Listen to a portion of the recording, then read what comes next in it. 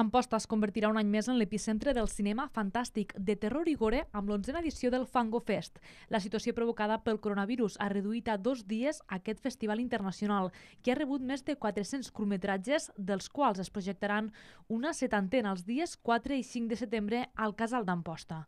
El director del Fango Fest, Jacint Espuny, ha explicat que la pandèmia ha deixat petjada en aquest festival amb un gran nombre de produccions inspirades en situacions apocalíptiques. Eh, creiem que la gent no respondria al passar el Covid i tot això, que no tindríem molts de, de curs i això, però ha sigut un any igual. Han rebut, han rebut més de 400 curs i projectes, eh, dels quals la temàtica s'ha notat molt, la quarantena i això, perquè el 50% dels curs és apocalíptic, ciutats buides, la gent, eh, la creativitat de la gent a l'estar a casa li ha, li ha anat a tope. En aquesta edició destaca també la participació de produccions ebrenques, arribant al rècord de 10 curtmetratges.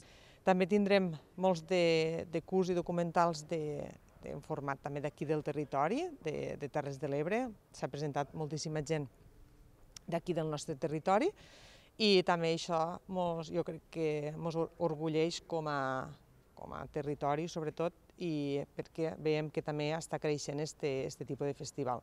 Un dels plats forts del festival serà la presència de Marc Carreter, director, productor i guionista català.